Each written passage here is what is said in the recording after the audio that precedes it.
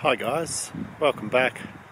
Just doing a quick video this afternoon. I wanted to show you a exciting uh, solar panel I just picked up. So I'll give you a look. This is one of, in my opinion, the best flexible solar panels available at the moment. And I managed to get hold of a 355 watt version of it. So let's have a look. There we go. This is a Sunman eArc 355 watt panel. Um, as you can see, it is um, quite big. It's about two meters by just over a meter. It has this um, stainless steel shroud along the top which covers the terminals and I'll just flip her over and it's got a really tough tough coating. I'll see if the camera will pick that up.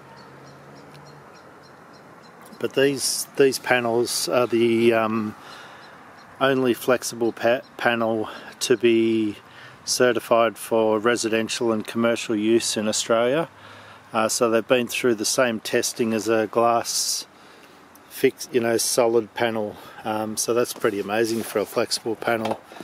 It's a bit of a game changer. So this panel is going to be for my camper van. Um, I was going to just put a regular hard panel up there, but that's about 19 kilograms worth of weight. So I wanted to get a flexible panel, but um, as you might know, flexible pan panels don't have a, a great rap for being um, reliable and lasting a long time. Uh, a lot of them are just cheap ones you find on eBay and they just seem to break down in a year, you know, maybe up to three years. So this one has a five year warranty for um, a mobile application, which is what I'll be using it for. So I'll just flip it over and give you a look at the back. Has six kilograms. There's the spec sticker on the back there. So it looks it's similar to a regular panel on the back. It has this aluminium around the perimeter. They come they come in 185 watt 295 and 355 that I know of, of. There could be others, but this is the larger one, the 355 watt. I'll just put the camera down and I will flip it back over.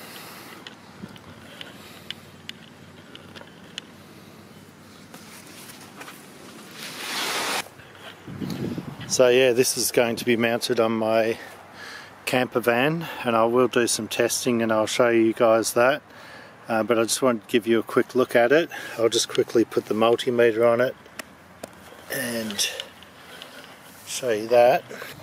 Uh, it's about 6.30 in the evening, 6.30, 7 o'clock at the moment and there's not really any sun to speak of. There we go, we've got 45.8 volts, hopefully you can see that. So yeah, super excited about this panel guys. I just couldn't bring myself to put 19 kilograms up on our camper van. Being a wind up camper, it just didn't seem like a great idea. So I think this will be perfect being only just over six kilograms. I'll show you the mounting, how I mount it on the roof and I'll do some testing once it's up as well. So yeah, as you can see the sun's quite low. It's quite late in the day here. Um, anyway guys, just wanted to show you that and I will show you some more of it soon. Bye now.